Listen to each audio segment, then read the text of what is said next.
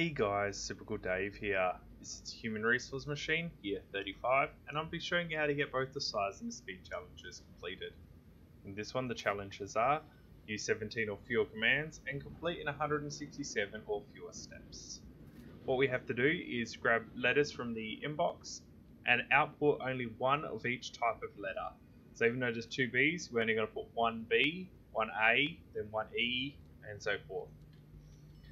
Um, so what we're going to do is this cell here where the zero is, we're going to use this to keep track of where we're going to place the new letter. So I'm just going to label this new letter. In this cell here, we're going to use this as our checkbox. So we're going to be counting down um, from whatever the last place we place one down and backwards to try and compare all the letters we've already found against whatever new letters we have in cell 12, what we're going to do is just keep a copy of whatever letter is that we're currently using. Now, the first thing is we're going to go to the inbox. We're going to out uh, make a copy of it in the position of the new letter. So it's going to tell us to write it down in position 0.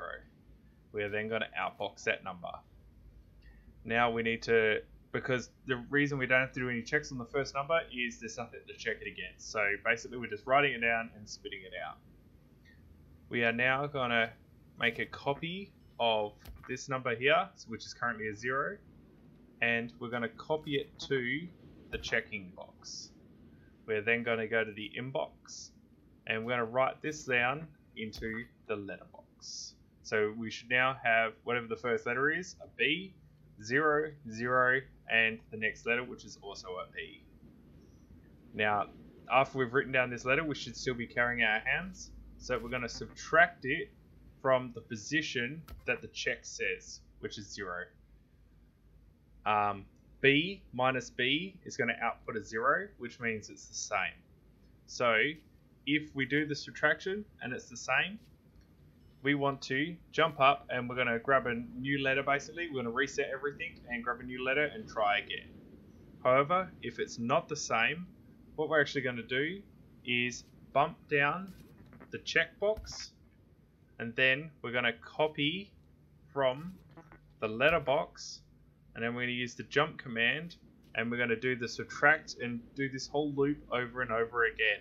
So we're just going to keep bumping this down and going to the letter before it, letter before it, letter before it, and keep checking.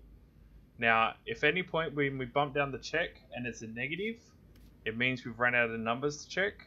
So we're going to use the jump. I'm going to jump right up to just underneath the inbox. Now, where the inbox is, you want to put a jump and skip where this is because we don't want to mess up the initial part of the code. Now, we've done that. What we're going to do is bump plus the fact that we found a new letter and we want to paste that new letter into the position 1. So now we've bumped that to 1. We're going to grab the letter and then it should copy it to the new location, which will be the 1, and outbox a copy of it as well. Now, this is all you need to do to finish this level. So if I hit play, you should see everything roll out.